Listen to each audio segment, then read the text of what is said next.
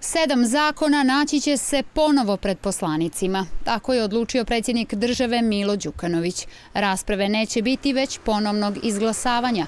U odluci koju je poslao predsjedniku Skupštine Aleksi Bečiću, Đukanović navodi da je upitno da li je na sjednici 29. decembra ostvaren kvorum tokom identifikacije poslanika koji su glasali elektronskim putem. Kvorum se utvrđuje primjenom elektronskog sistema za glasanje na način što je svaki poslanik dužan da se lično identifikuje ubacivanjem identifikacione kartice u poslanički pult na svom sjedištu ili na osnovu evidencije generalnog sekretara Skupštine – Također ukazuje mi na otvoreno pravno pitanje konstatovanja prestanka mandata poslaniku Filipu Adžiću i potvrđivanja mandata Suade Zoronjić s obzirom na većinski donešenu negativnu odluku Državne izborne komisije. U vladi ocjenjuju da je Đukanovićeva odluka da zakone vrati na ponovno odlučivanje najbolji pokazatelj kako proces kohabitacije funkcioniše u praksi. Đukanović ne dozvoljava mirnu tranziciju vlasti u Crnoj Gori i nastavlja u višegodišnje maniru da Crnu Goru tretira kao svoj feud.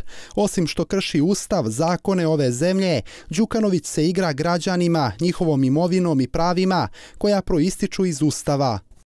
Vraćanjem zakona na ponovno glasanje, Đukanović dao sebi žuti karton. Ako prekrši ustav, smijenit ćemo ga. U DPS-u kažu da nova vlast pokušava da uvede pravno nasilje. Poručuju i da će se takvom ponašanju suprotstaviti u skladu sa Ustavom i zakonima.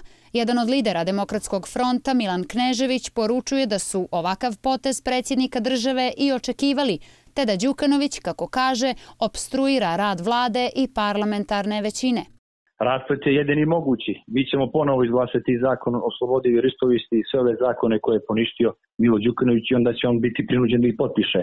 Ukoliko ih ne bude potpisao, postoje ustavni mehanizmi kojima se može pokrenuti njegova smjena i ja vjerujem da ih mi nećemo izbjeći Zakon o slobodi vjeroispovijesti bio je u prvom planu, međutim veliki problem predstavlja to što su Skupštini vraćene izmjene zakona o radu, fiskalizaciji, kao i zakon o kreditnim institucijama.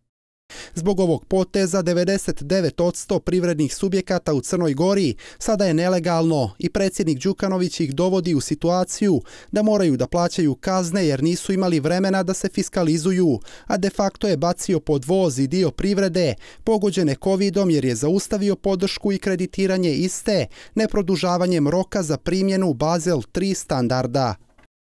Mi imamo strpljenje i demokratske kondicije, a predsjednik države neka ponese odgovornost za posljedice koje mogu nastupiti po radničku klasu, bankarski sistem, privrednike i druge, imajući u vidu posebno rokove koji uređuju te oblasti.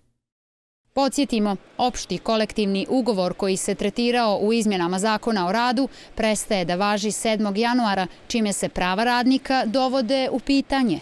Aleksandra Šljivić, Prva televizija.